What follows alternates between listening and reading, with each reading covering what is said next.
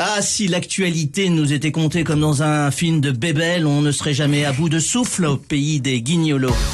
Allô Maillot Allô Maillot Allô, Maillot.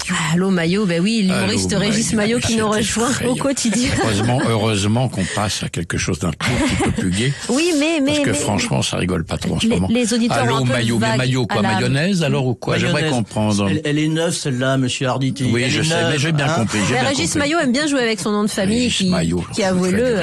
Eh bien, monsieur Pierre Arditi, aujourd'hui, je vous propose un Allo Maillot. Aujourd'hui, aujourd'hui, aujourd'hui n'existe pas. Je propose un spécial Allo Maillot. Jean-Paul Belmondo, évidemment. Ici Bob Sinclair, j'écoute.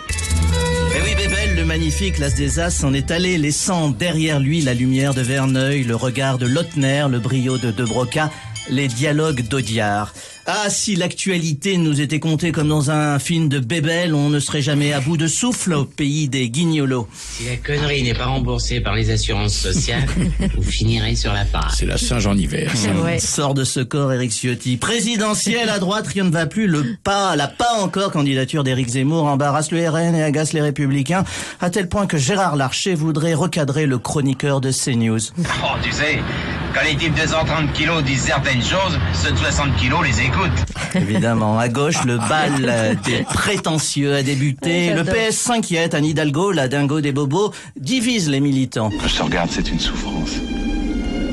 Pourtant, hier tu disais que c'était une joie. Une joie. C'est une joie et une souffrance. Eh oui, Paris n'est pas la France. Les Français ne sont pas prêts à supporter le chaos créé par la limitation de 30 km heure dans la capitale.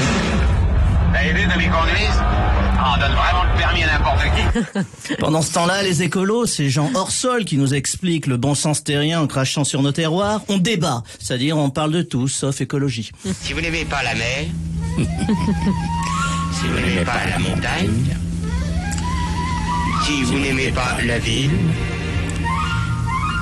Allez, vous allez faire vous faire foutre.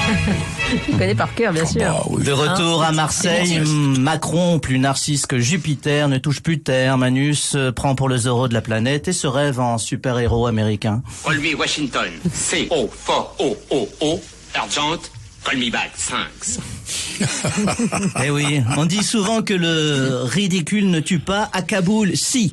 Les talibans ont tranché, les étudiantes sont remplacées par des parasols refermés. Et des femmes sans visage, c'est l'humanité sans sourire. Faudrait tout de même qu'on signale à Minos que ça devient de plus en plus difficile de se vautrer dans la boue sexuelle. Eh oui, eh oui, décidément, c'est dur d'être aimé par des cons. Vous savez quelle différence il y a entre un con et un voleur? Non. Un voleur, de temps en temps, ça se repose. Eh oui, Bébel, toute une époque. Il y avait de l'allure, de la gouaille, du panache. Grâce à toi, une dernière fois, tous renvoyés au terminal des prétentieux. Salut l'artiste. Mhm.